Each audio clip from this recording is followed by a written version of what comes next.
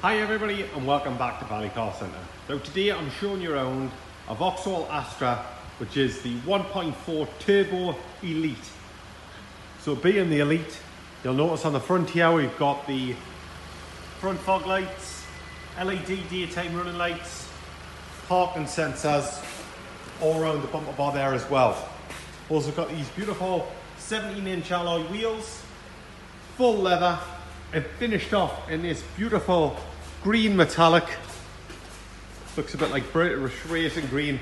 It's so dark that um, a lot of people think it's black. In the boot here, we've got a lovely sized big boot with a three-way split. If you look at my pictures, you'll see how that goes down. Like I said here, it is full leather, but also it has the heated seats in the rear, as well as the two aux sockets there for your kids. The center armrest, obviously four five seater, so proper three seat belts in the back and Isofix. Like I say, these back electric windows can be switched off at the front, so you can control them, but switch them off for kids in the back. Also, we've got electric door mirrors there, heated door mirrors. Leather's in beautiful condition there.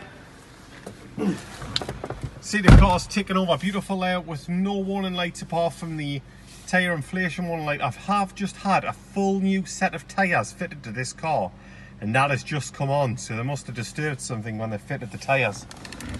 Obviously in here as well we've got heated seats in the front as well as the rear as you'd expect and also the heated steering wheel. Another great feature for the winter. We've got electronic handbrake with hill holds and also a six-speed gearbox for fuel economy. Car's just been through an MOT there. See it's got no advisories. Will come with a service as well and a three-month warranty from Handler Protect. See we've got DAB radio there so you've got a huge choice of stations as well as a lot of other features such as you'll see we've got the built-in got the home page we've got the built-in sat nav there. You can program your phone into it hands-free driving. It's also got the apple carplay which i actually get asked for more than i do for the sat nav.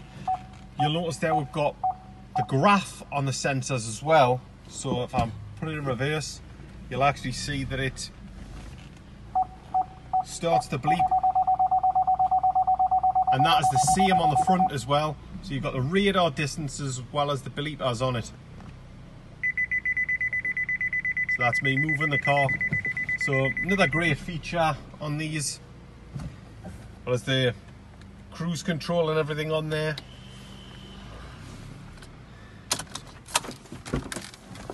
Automatic headlights So if you've got any questions, you'd like any extra videos, any extra information, then please just ask. Thanks very much for watching and take care.